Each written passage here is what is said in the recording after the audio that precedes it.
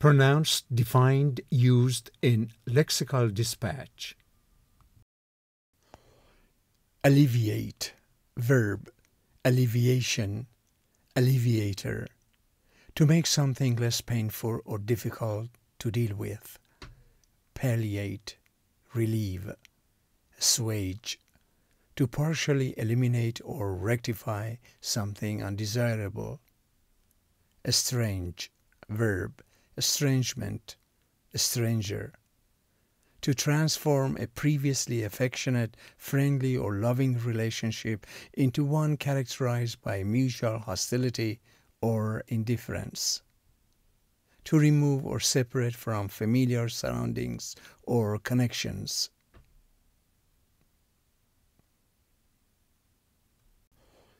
The new medication helped alleviate her chronic pain. Regular exercise can alleviate stress and improve overall well being. The government implemented programs to alleviate poverty in rural areas. Applying ice to the injury helped alleviate the swelling and discomfort. The company offered flexible work hours to alleviate employees' commuting stress. Meditation techniques can alleviate anxiety and promote relaxation.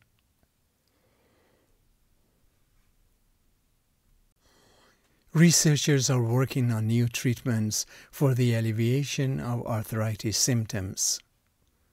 The nurse administered pain medication for the alleviation of the patient's discomfort. The alleviator device was designed to reduce pressure on the lower back while sitting. He acted as an alleviator in the tense negotiations between the two parties. The new software serves as an alleviator for common coding errors. Scientists are developing an alleviator compound to counteract the effects of certain toxins. The constant arguments slowly began to estrange the couple from each other. His addiction to gambling estranged him from his family and friends. The political differences estranged the two longtime allies. Years of miscommunication led to an estrangement between the siblings.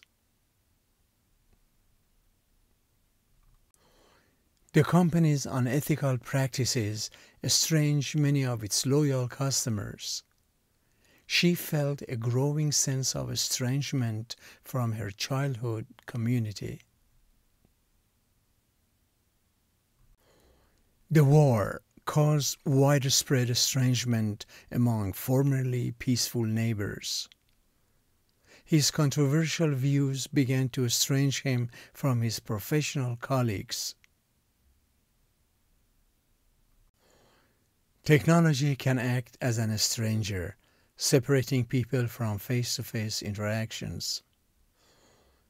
The politician's radical shift in ideology served as an estranger to his constituents.